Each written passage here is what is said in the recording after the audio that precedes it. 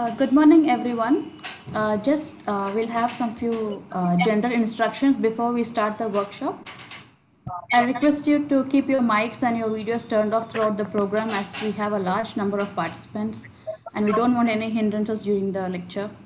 And due to the high demand, we're also live streaming our workshop on YouTube. For those of you who are joining after the Zoom room is full, you may watch it on YouTube live.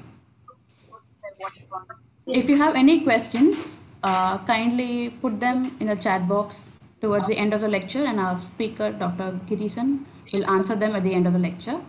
The e-certificate will be awarded to those who have been who have participated and fill the feedback form, uh, which will be sent after the lecture is over. which will be sent after lectures. Yes, kindly keep your uh, mics turned off, please. Mics turned off, please. Mics. I deem it a privilege for me to host our workshop online from the Department of Social Work Aided Program of Madras Christian College. I'd like to welcome every one of you to the Jonathan Callaghan series, uh, lecture series on attracting, motivating, and sustaining youth in agriculture, opportunities, challenges, and the way forward in the post COVID 19 era. Before moving on to the workshop, I understand that you may be wondering why the name Jonathan Callaghan is said over and over again. Well, the Madras Christian College has a long history dating back to 1837, and so does the Department of Social Work. Jonathan Callaghan was a 19 year old student at the London Imperial College studying geology around the late 70s. And uh, one of our old students, who was the chaplain, talked to the students about the Madras Christian College and the extension programs of the college. Uh, so now uh, the students of the London Imperial College, they were very interested by the activities and wanted to raise some funds to support these activities. So Jonathan Callaghan, who was a student, said he would work in a coal mine during the summer holidays and contribute his earnings to the fund. While working uh, during the summer uh, in the coal mine, he slipped from, the, from a scaffold which was around 300 feet high and he died. So, uh, because of his death, his friends were uh, more burdened to raise more funds for uh, sending to the Madras Christian College to raise a memorial to honor him. In 1981, the Friends of Callaghan raised a substantial sum and sent it to the college for a memorial in his name. It was then that the college decided to bring all extension work, which came under the umbrella, namely the Jonathan Callaghan Memorial Center for Integrated Rural Development Studies. With the funds sent, the, uh, sent, the college erected the building named after him. From 1982 to 1989, a one year PG diploma course in rural development was conducted. This course was discontinued and the Department of Social Work was established in 1989 following the Masters in Social Work. Over the years, the department has sent out dedicated and committed graduates to serve the community at large. Jonathan Callaghan got, ins- got inspired through a talk and though he never visited India, was committed to a cause. His memorial today inspires hundreds of students who pass through the portals of these buildings. It is in his honor these lectures are conducted. This is not the first of the lectures. We have been having these lectures at the department every week, but um, have now opened to the neo normal online series of lectures. Without taking much of your time, I would like to introduce our speaker, Dr. Gireesan. Dr. K. Gireesan is currently performing as the head Center for Policy and Action Research, Associ- Associate Professor, Department of Local Governance, Coordinator Research Unit on Youth and Local Governance, and Dean of Students Welfare at Rajiv Gandhi National Institute of Youth Development. He has obtained postgraduate and doctoral degrees in public administration from Punjab University, Chandigarh. He has undertaken a number of research studies from the Ministry of Human Resource Development, Government of India.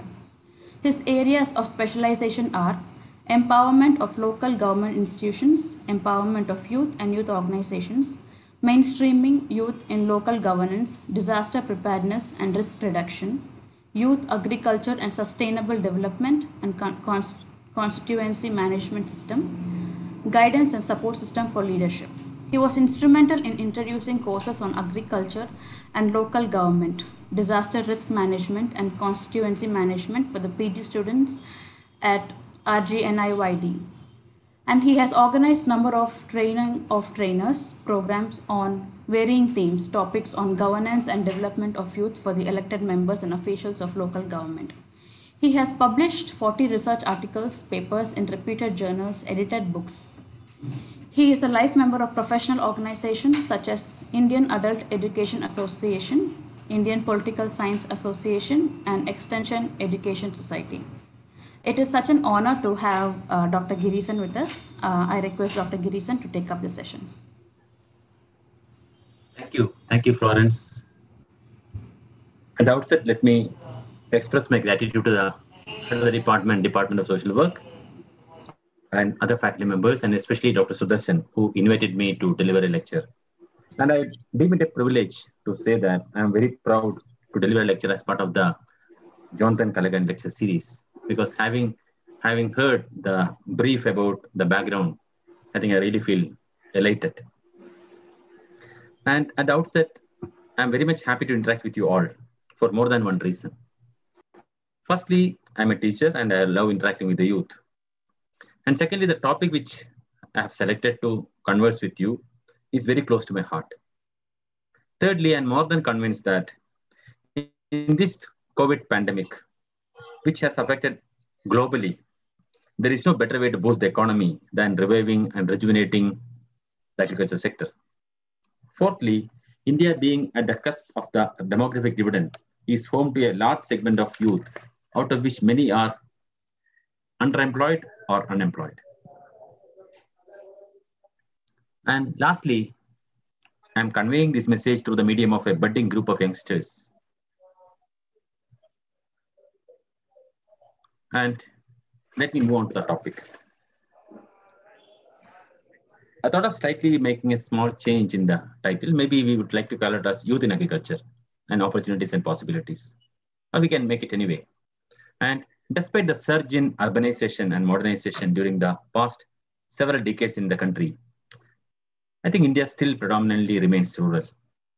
And according to Census 2011, majority of the rural households in the country, that means around 58%, still depend on agriculture, animal husbandry, poultry, fisheries, and other allied sectors.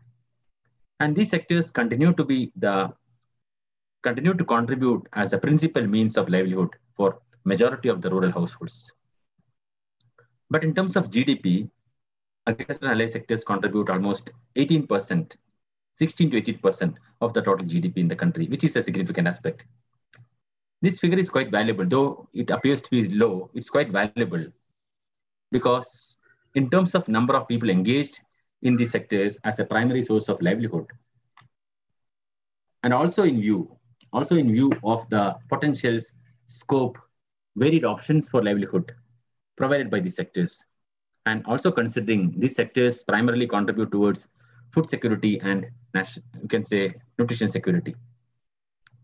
Despite all these issues leading to a serious reduction in terms of the number of families and persons considering agriculture as a primary source of livelihood, and of course, there is a reduction in the productivity, these sectors continue to be very, very significant in the larger sense because these sectors primarily provide a lot of scope for the livelihood opportunities to the people, and also it feeds all of us. And we cannot ignore the fact that a significant segment of the population continues to be living below poverty line, tackling the basic issues of food security and nutrition security in our country. And they are also coupled with various poor economic, socio-economic status, including, you can say, Human Development Index. It will be quite interesting to analyze the present situation of India with reference to a comment from a top British official during the British regime. His name is Sir Charles Metcalfe. And he was known for his famous theory of self-sufficiency and vitality of the Indian villages. And I quote, the village republics are, the village communities are little republics, having nearly everything that they want within themselves and almost independent of any foreign relations. They seem to last where nothing else lasts. Dynasty after dynasty tumbles down. Revolution succeeds revolution. Hindu, Pathan, Mughal, Maratha, Sikh are all masters in turn, but the village community remain the same. I think it can be well known through these statements or through these comments that Metcalfe was expressing his dismay over the robustness of the Indian rural economy, and of course, which had its solid base on the agrarian pattern. And of course, when we look back 18th, 19th centuries, I think famines were, were number of issues of famines in the Indian subcontinent. And Indian agriculture is, of course, we all know it's, it's heavily dependent on climate and the southwest monsoon, and which has been the primary, primary source for water resources for irrigation of crops. And of course, we all heard of a Bengal famine in 1770, AD 1770, and the Great Famine in 1876 to 78 is almost three years. And again, there was a Bengal famine in 1943. And of course, the Bihar famine in 1966. These are some of the major famines which has been documented. And according to a study by the National Institute of Disaster Management, India is the largest producer, consumer, and importer of pulses in the world. I think to put it in a very direct manner, India accounts for nearly one fourth of the global production of pulses, 27% of world production, world consumption, and 14% of imports. I would like to repeat, India is the largest producer, consumer, and importer of pulses in the world. India accounts for 25% of global production, 27% of the world consumption, and nearly 14% of the imports. The significance of agriculture sector could be found from the fact that though the sector contribute only 18% towards the GDP, more than half of the workforce is accounted. They are working, their, their livelihood is connected with the agriculture and allied sectors.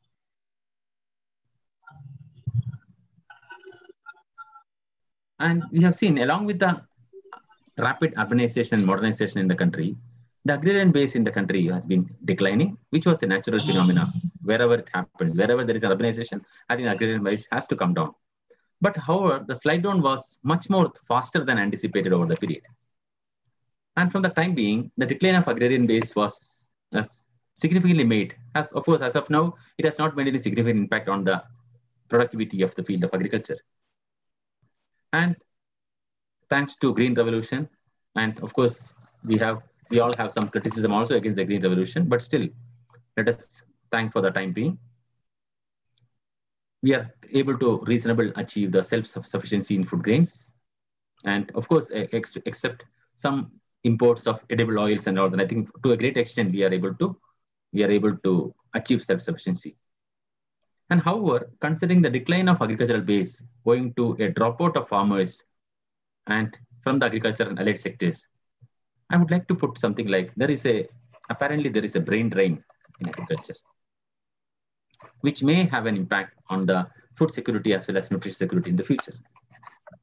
And of course, I had whatever I'm talking today with you, it is based on my interactions at farmers, especially young farmers, agricultural scientists, and a lot of researchers working in the field of agriculture and agricultural research, agricultural economics across the country for more than a decade.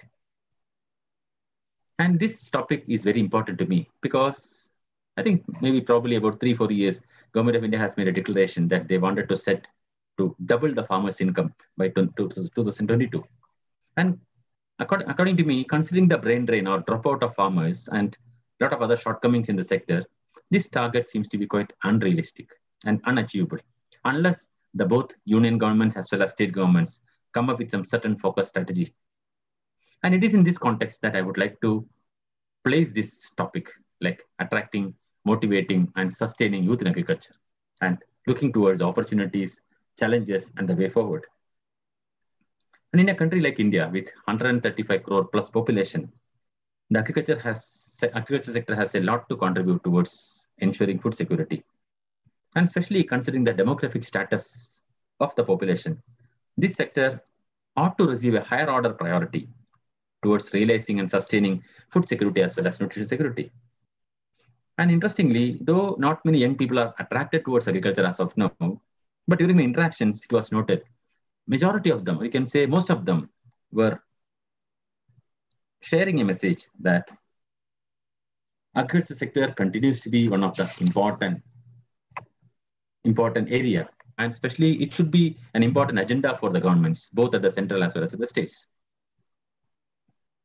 I think it would be pertinent to discuss some vital, important information upfront at the beginning of lecture.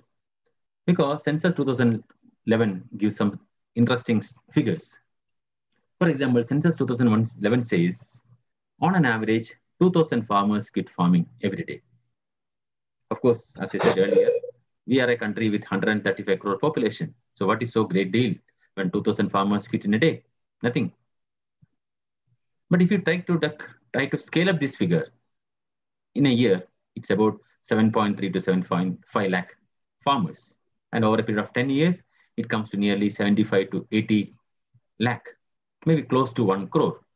And if you consider one farmer is feeding at least 10 people, I think that must be uh, at least about 50 crore. So over a period of 10 years, I think nearly the food security and nutrition security of nearly 50 crore people are going to be affected. I think now you may have understood what is the seriousness of a topic like this. And the census data, which, which from, from which I I'm, I'm inferring certain things, a large section of youth from the traditional or conventional agrarian families they migrate to peri-urban and urban areas and ag urban agglomerations are on the rise always. And they take up any decent job in court other than agriculture at the first available opportunity. I'm talking about the youth from the traditional conventional agrarian families. They migrate to urban and peri-urban areas or even urban agglomerations and pick up any decent job, decent in court at the first available opportunity. And we, I have seen number of parents. I think most of the parents with whom I have discussed, most of the farmers which I have discussed, they are not, they never wanted their children to come back to agriculture. Because they see there is no future in agriculture. And some of the personal interactions with me, they have shared, they wanted, they do not want their children to suffer like them, being completely tied with agriculture. And of course, in addition, there is a strong inclination among the youth towards a white collar job, where the society looks upon people who make the looks down upon looks down people who makes living out of agriculture and anything which connected with the soil. Of course, this attitude encourages the youth to switch over to activities which are not even remotely connected with the sector at the first instance. And interestingly, I was just trying to analyze the the the figures which comes out from the agricultural universities and agricultural colleges. I have I have extensive interaction with the faculty of agricultural universities and agricultural colleges across the country during the last 10 years.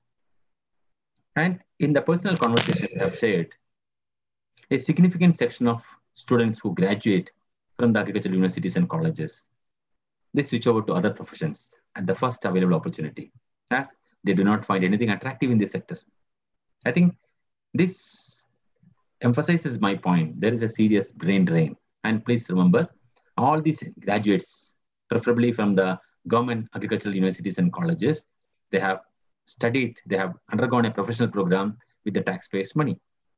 And they are willing to switch over to any sector, even for a menial job, at the first available opportunity. I think this is a very, very serious issue, which cannot be pushed under the carpet by any one of us. And when we try to look at from a different angle, I think we all know how many people from the non-agrarian families, they come back to agriculture. Maybe we can quote something, the things reported in the Better India and other kind of uh, websites, other kind of sites where they bring up issues of, you can say, successful farmers or successful entrepreneurs from IT sector and IT enabled sector. Of course, there are some people who pick up as a small time agriculture or part-time job or something like a hobby and things like that maybe somebody may take, pick it up out of their personal choice and interest. But according to me, this is only a microscopic minority and cannot make any significant impact in the agricultural sectors in the country.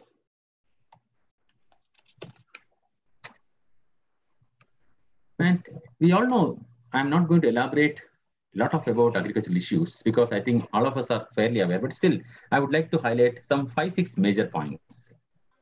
We can see there is a productivity or the agricultural output has been on the decline. And this is primarily due to the, you can say, excessive chemical use of chemicals, probably. Okay, and the ever rising input cost. I think the reduction in productivity as well as increasing the input cost both owe a lot towards the excessive use of chemicals, chemical fertilizers and pesticides. And of course, as I said earlier, the relative contribution to the GDP from agriculture is fairly low. It's about 16 to 18% of GDP, though more than half of the people are dependent on the agriculture. And of course, there is a dip in performance of agriculture by different crop categories. And we, we all know there is a reduction in the area and the input use, capital stock, and technology has still a long way to go. And of course, the lack of timely support to the farmers from agriculture department, universities, banking, finance sectors. And there is a decline of interest in the farmers. As I said earlier, there is a serious attractability issue. And to cap all of these, the issues of climate change and global warming. I, I didn't, I'm not going to elaborate the whole issues. I think that uh, it will take a long time. So I just sort of just touch upon some of the issues. And when we look at the consequences of agricultural crisis in India or any country is very, very severe. It has the potentials to affect all other sections in general and the economy of the country in very particular. And to be very specific, it has adverse effect on food supply, prices of food grains, cost of living, health, hygiene, poverty, employment, labor market, everything. So agriculture sector is one such thing which permeates into various other sectors in the country. And the agricultural crisis would be affecting a majority of people and the economic development of the country in the long run. I think that is one of the important point I'm trying to emphasize here. And that is a important, that is one of the greatest reason why I thought of picking up a topic, especially in the post-COVID scenario. And through this, through this presentation, I'm trying, trying to touch upon two things. I'm trying, just trying to spend some time on discussing the opportunities, challenges, and the way forward. And also I'll try to touch upon one of the important program, like something like Mahatma Gandhi National Rural Employment Guarantee Scheme, whether it needs to do any kind of recasting in the present context, especially in the post-COVID scenario. I think these are the two things I'm trying to touch upon. So firstly, the opportunities, challenges, and the way forward. And secondly, about the recasting of NREGS in the post-COVID scenario. Because we all know in the post-COVID pandemic has affected all over the world. And at least I am convinced that there is no better way to boost the economy than reviving and rejuvenating the agriculture sector. And for this presentation, I didn't make any specific preparation in the recent. I think it has been going on for the last, you can say 10 years. And I have tried to use very non-conventional techniques to collect the data. Like I think unlike a structured questionnaire and things like that, I have tried to use the participatory techniques like resource mapping, mobility mapping, daily activity clock, seasonal calendar, well-being analysis, pair ranking, and whatever mapping and ranking techniques as part of participatory learning and appraisal, participatory rural appraisal, I have tried to use it. And in addition, I have done in-depth interviews with the young farmers as well as the experienced farmers and elected members of local governments and staff of agriculture department at different parts of the country and the faculty of agriculture colleges and universities and scientists at the IARI and CSIR and functionaries of development organizations working with and working for strengthening of agriculture sectors in the country. I think these are the some of the sources of inputs for me to share my my thoughts with you. And coming straight to the opportunities, I think we all know agriculture sector opens up several opportunities, especially the, the interventions by the government has been massive in the agriculture sector. For example, when you look at the government of India websites or any state government websites, I think especially when you look at the government of India website, the Ministry of Agriculture and Farmers Welfare, which has been renamed by the uh, present government, it offers, there are at least three major flagship programs. One is Rashtriya Krishi Vikas Yojana, RKVY, that's called as National Agriculture Development Program. And secondly, it there is a program called National Project on Organic Farming, NPOF. And there is a third major flagship is PKVY, Paramparagata Krishi Vikas Yojana. And these three programs provide a lot of scope and opportunities to the farmers, and especially young farmers, to contribute towards agriculture development of the country. And of course, we have seen the increased presence of farmer-friendly guidance and support systems through technological applications. Like you may have heard of apps like Agri App, Plantix, your crop doctor, and as recent as recently, as very very recent, there was a app created by the Soil Survey and Soil Health Department of Government of Kerala, which is called as Manna, soil, salt, sorry, soil.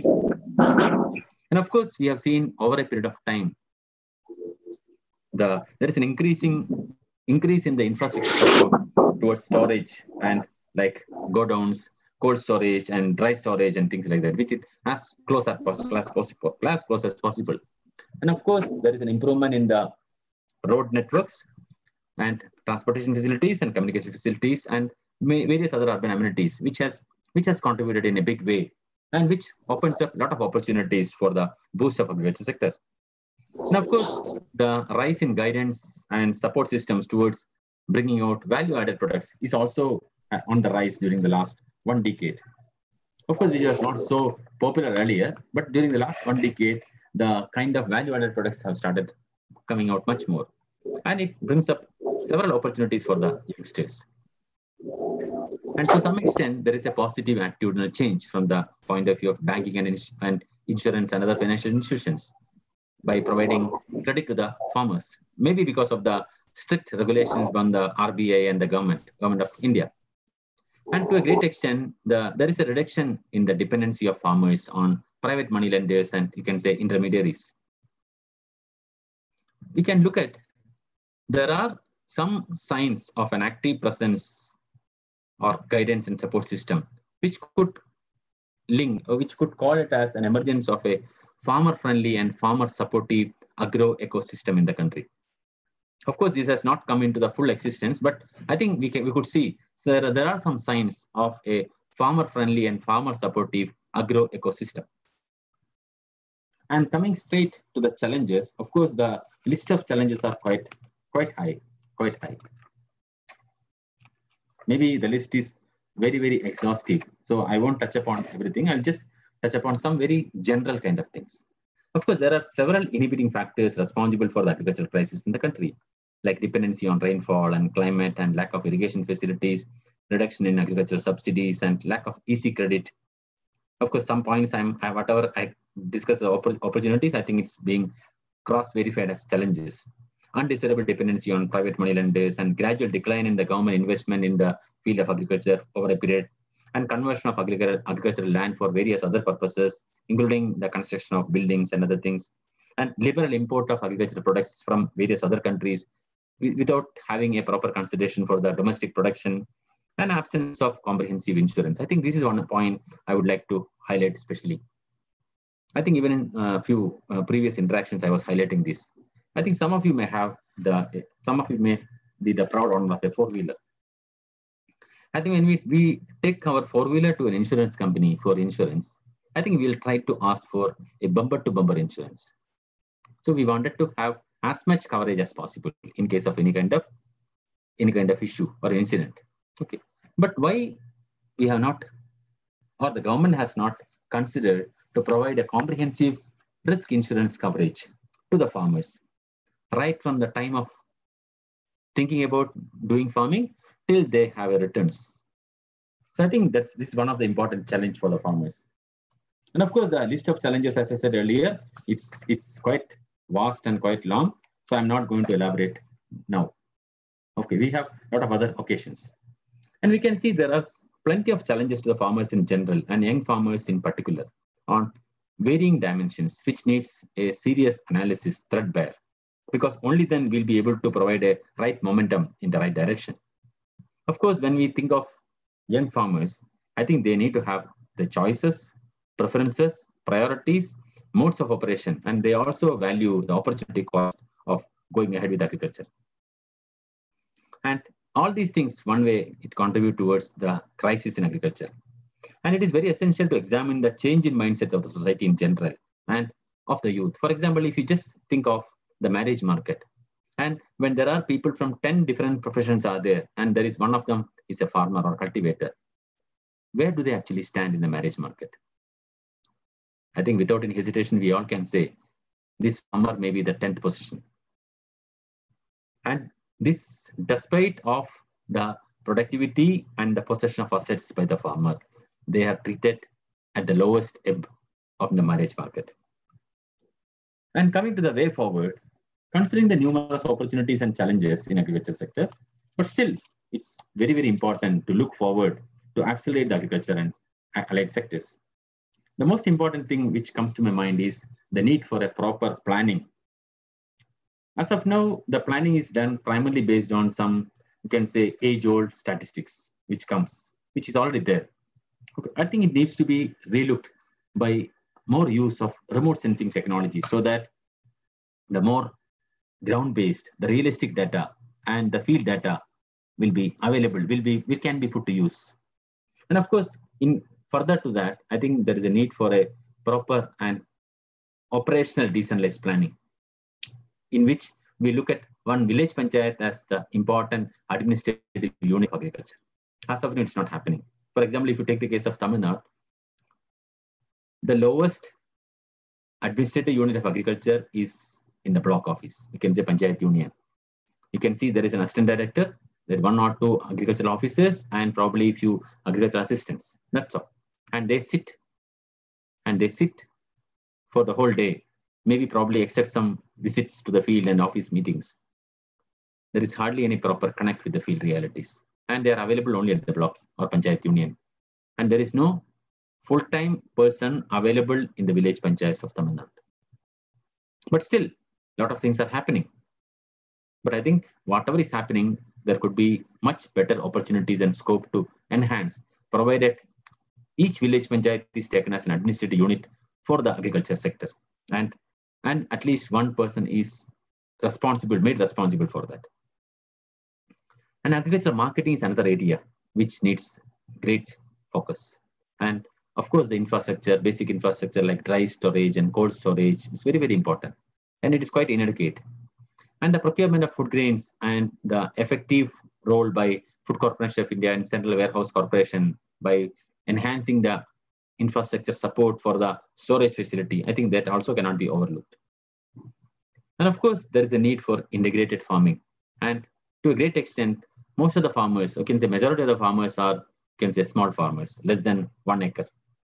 So by use of one acre, by growing one crop, I think it's just just impossible to make a living, proper living and decent living out of that.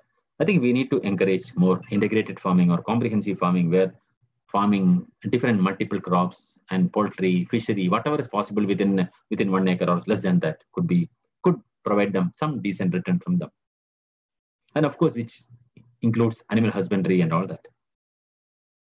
And the important thing which I think which needs to be looked at is the possibility of doing more animal husbandry related to small animals like rabbit.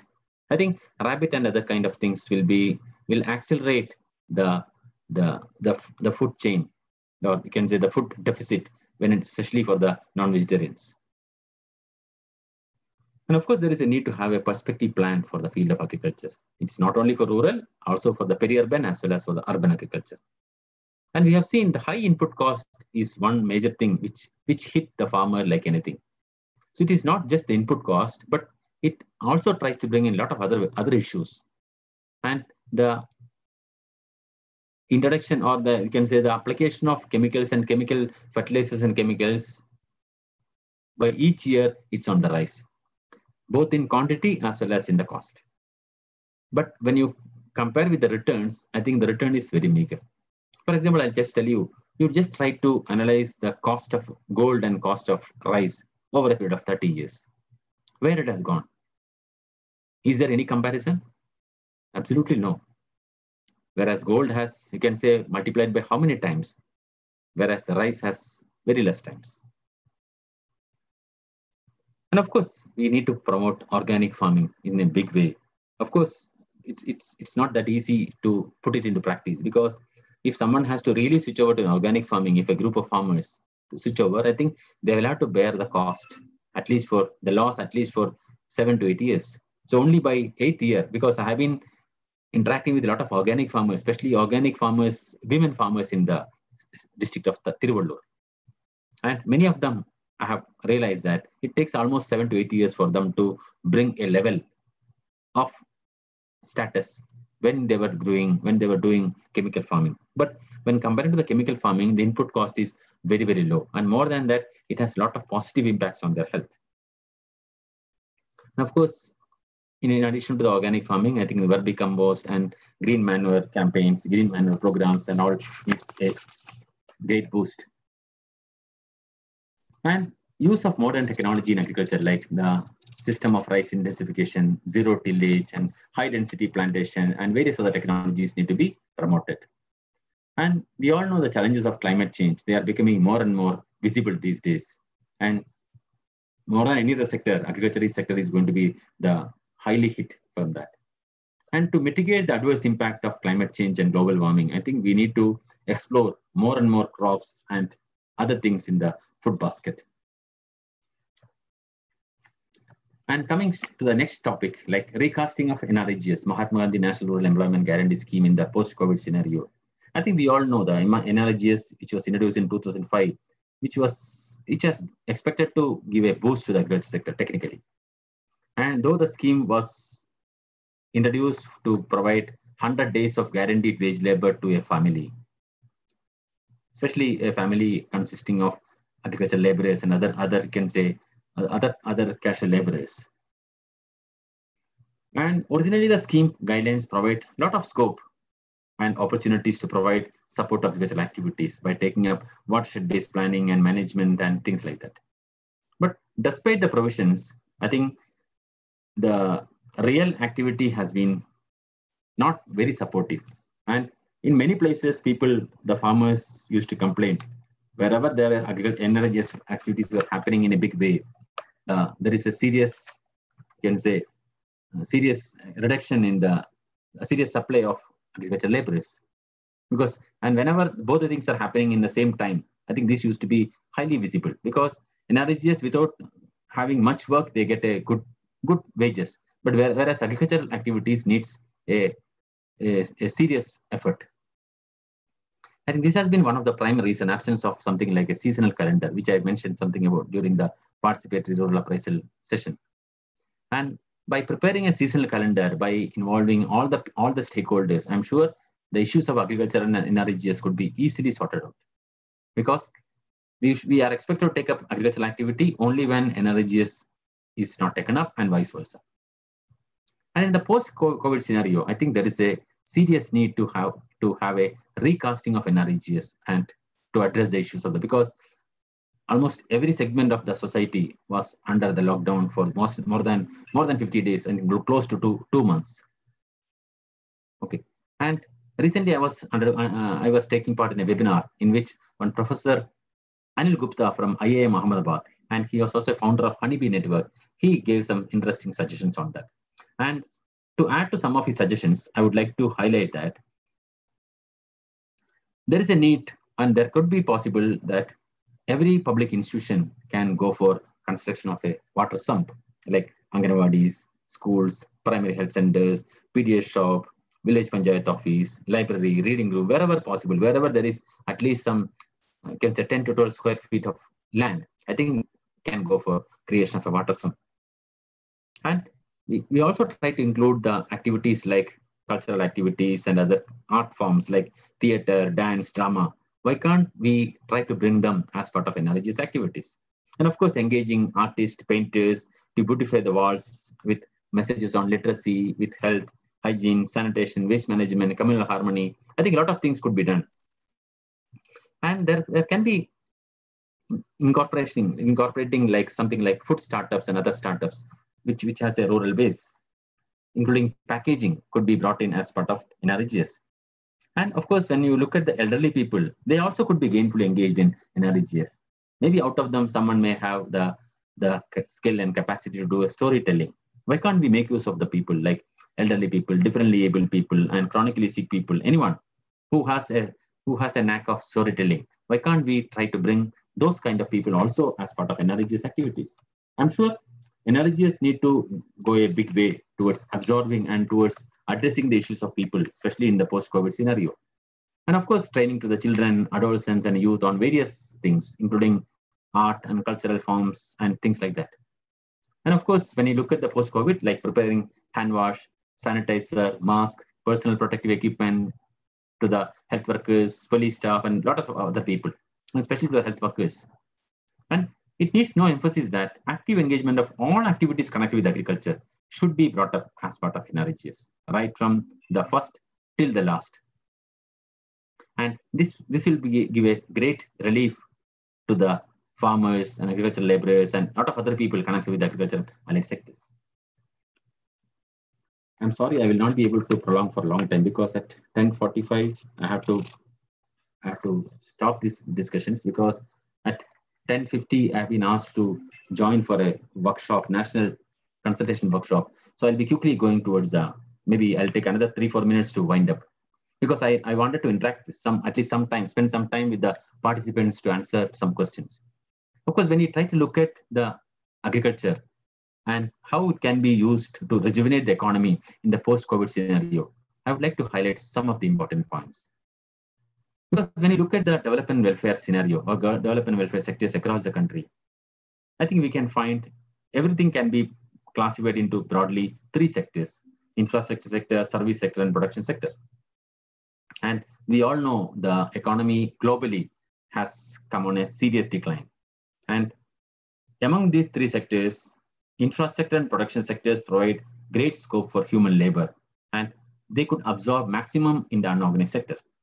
But in the post-COVID-19 scenario, when the governments are unable to pump money towards any new initiative, I think one of the most immediate hit is infrastructure sector, because that is one thing which we can delay it easily. We will not be able to delay the service sector activities like education, health, the waste management, sanitation, kind of that. So the most important area which is going to hit in the post-COVID scenario is infrastructure, which absorbs a lot of people, which provides labor to a lot of people in the unorganized sector. Of course, service sector may not be that hit, and we should be happy if the present ongoing programs, welfare programs, are continuing in the same manner. And in the production sector, of course, there are industries and other things, MSMEs and village industries, cottage industries. But according to me, according to my perception, the easiest way to boost the economy is to rejuvenate and you can say revamp agriculture. And in that stride towards revamping agriculture, I think when we India is India India is on as I said earlier, India is on the cusp of the demographic dividend. Unless we are able to attract young people towards agriculture, I don't think a revamping of agriculture can really happen in the country. Now, of course, there are a number of programs which is which is there, and there is a need to have to create more farmer-friendly guidance and support system, and a lot of other things and technology and all these things. Especially when you look at young people, they will they will not be generally attracted towards the conventional traditional pattern of agriculture. They'll be looking for, you can say, mechanized pattern of agriculture, high yielding agriculture, high value agriculture, and integrated agriculture, organic agriculture. There can be a number of things which could, which could provide, which have a good market in the in the in the system. And to conclude, I think there is an active, there is a need for an active presence and guidance of support system, which I said earlier. There is a need to have emergence. There is a, there is an emergence of a farmer-friendly and farmer-supportive agro ecosystem in our country, and because this can be created only when we analyze the operational issues and the opportunities and challenges and the way forward in a very in a very close manner. And you must have heard the recent announcement by the Honorable Prime Minister of India about Atmanirbhar Bharat, like self-reliant India. And based on the speech of Prime Minister and followed by the speech of the Finance Minister, I think the hopes of the entire population have shot up. And especially in the speech by the Finance Minister, she spoke about the resurgence of MSME and other industries and all that. And of course, in the subsequent speeches, she also made comment on to boost agriculture and allied sectors. And according to my perspective, again, the best way to boost the economy within the shortest possible time is to accelerate agricultural production in a diversified and regulated pattern. And here, I don't mean the focus is just on increasing the productivity. I think it is more on the diversification of the activities and bringing out more value-added products. For example, I'll just uh, pick up one small example from Bihar. And I think you must, you, you may be knowing, there is a Muzaffarpur, region of Bihar. And Muzaffarpur, region of Bihar alone is producing one interesting fruit, which is called as lychee. Okay, and I have I have discussed with a number of farmers during the last three four days with in Bihar, and the farmer get just 50 rupees for a kilo of lychee, which may be about you can say 50 jodas or you can say 100 100 pieces of lychee. They get just 50 rupees, and if they are able to come out with something like a lychee pulp or lychee juice or lychee squash or lychee jam and lychee wine, there are many other value-added products which could be brought. Of course, the government through a research institute on lychee is doing something, but the farmers are not really getting the benefit. They're doing a lot of research on that, but the farmers in the field are not getting the real benefit. If they are able to do that within the limited resources, within uh, like a group of farmers, I'm sure the profit margin of farmers will go by at least three, three times. And of course, it is beyond that. The, the, the career or employment opportunities in the agriculture sector is not just confined to the cultivators or laborers anymore. The sector opens up a lot of scope for like agri-scientists, agri-auto engineers, agri-counselors, agri-enterprises, uh, sorry, agri-entrepreneurs, and agri-pharmacists, agri-business persons, agri-teachers, agri-technicians, agri-artisans. Of course, we can add even agri-social workers.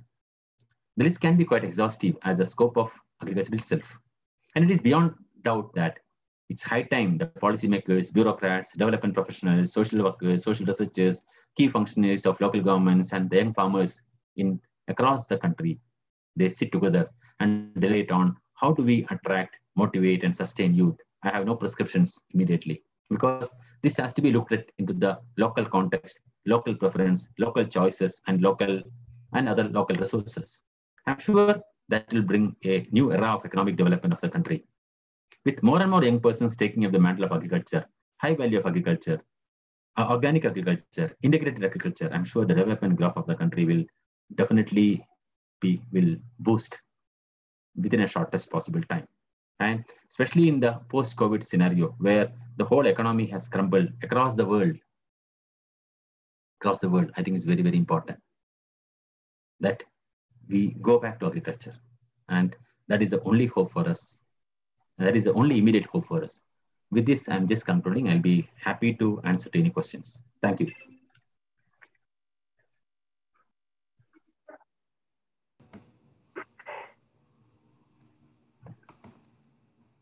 Uh, thank you so much, sir, for uh, highlighting agriculture and the impact the COVID 19 is having on agriculture. So, we have a question from YouTube. Okay. Um, the participant has asked you to highlight on the current issues that the farmers are facing. I think I said in the beginning itself, what are the challenges the farmers are facing? Right from the low productivity, the higher input cost, and marketing, absence of marketing, and lack of comprehensive insurance coverage. Number of things, and even they don't get the support from the agriculture department. And when we look at the, I think we can quote, I think I can take one hour lesson on only on the issues of farmers on the agriculture sector. So I did not take much time because I want to discuss so many other things. That's why I didn't spend much time on that. I think there are plenty of challenges farmers face, Okay. right from climate to government to department, banks, markets, supply chain, everywhere, storage facility. I think when you pick up anything, the farmers have an issue. And of course, the price. So there is another question. Um, I'll just read out the question from YouTube. Sir, after COVID-19, did our Indian economy will focus on agriculture more than other sector and did our economics will get balanced after COVID-19? I'm not very sure whether it will focus, but I, I wish it should focus. Because, as I said earlier, when you look at the whole development and welfare scenario in the country, we can bring them into three broad sectors infrastructure sector, service sector, and, and production sector. And as I said earlier, the infrastructure sector is going to be a big hit, is going to be seriously affected, like the constructions and buildings, roads, bridges. I don't think we will have any, any new initiative which will come up in the next one or two years.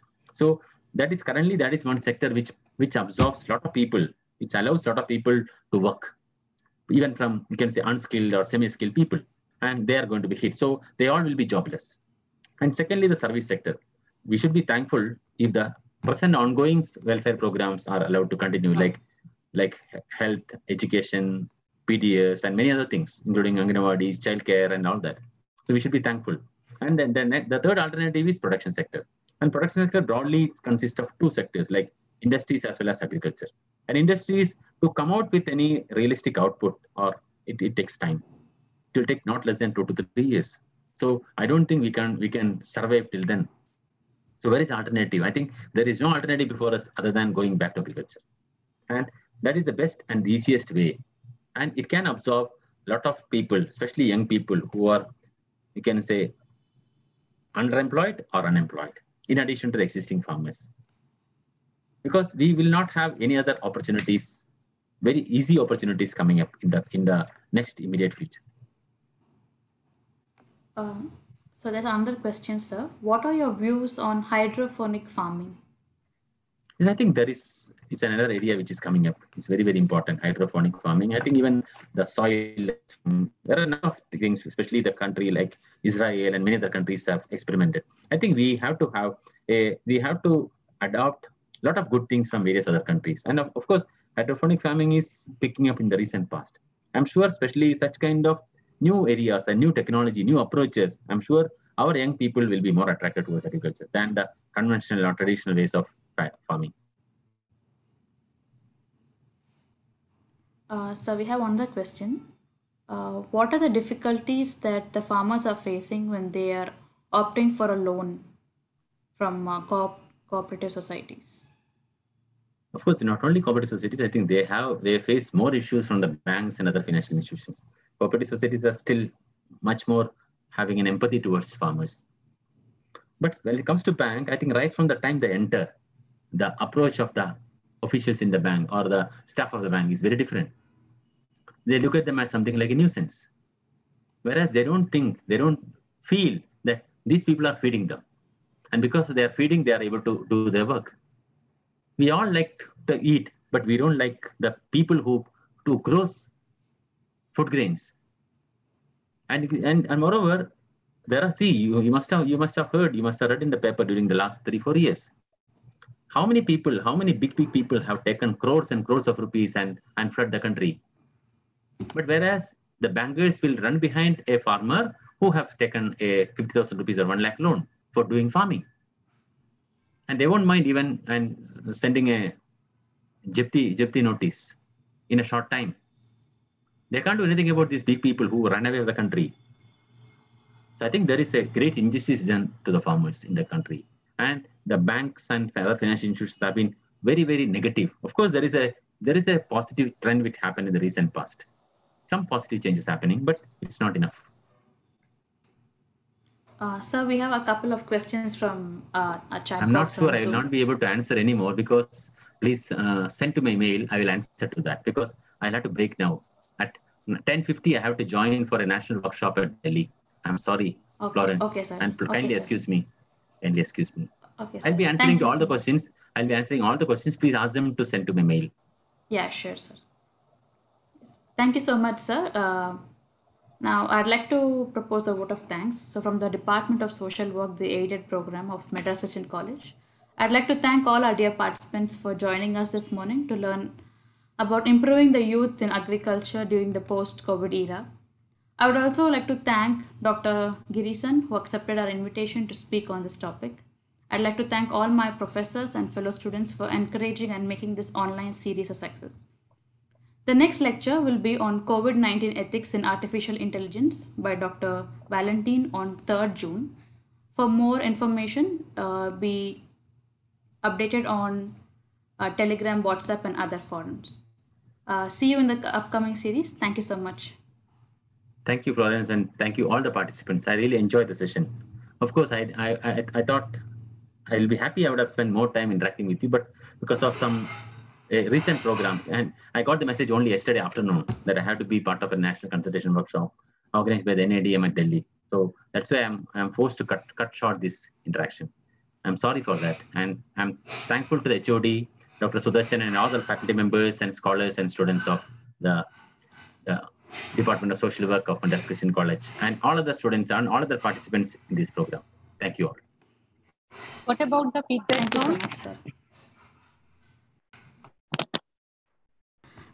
So the feedback form will be uh, sent to you by your email, and once you fill the feedback form, you get your certificates.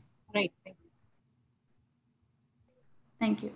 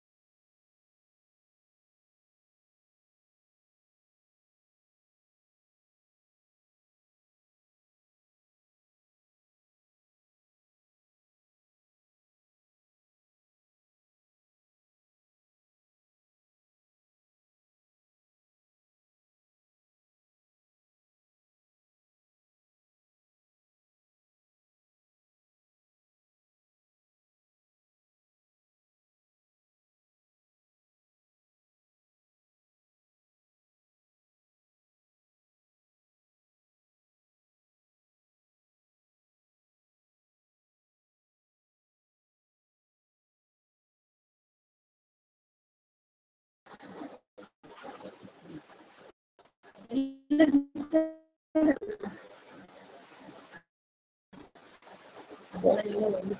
feedback from.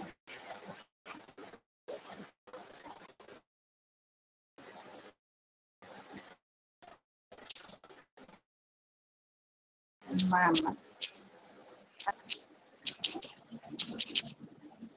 The feedback form is also sent in Telegram. For further updates, join our Telegram. Thank you.